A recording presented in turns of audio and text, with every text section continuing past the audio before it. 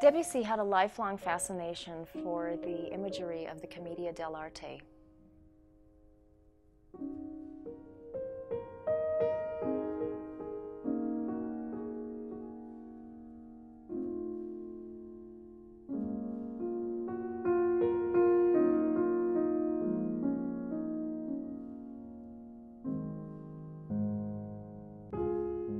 In Clair de Lune, you see masked characters at an enchanted moonlit ball in a beautiful ancient town that's surrounded by sparkling water.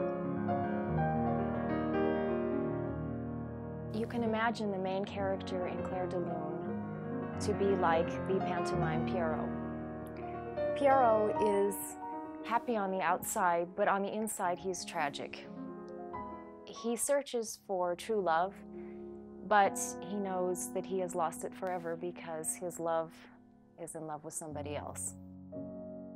And so he wanders aimlessly, struggling to find himself and to find the deep meaning of life.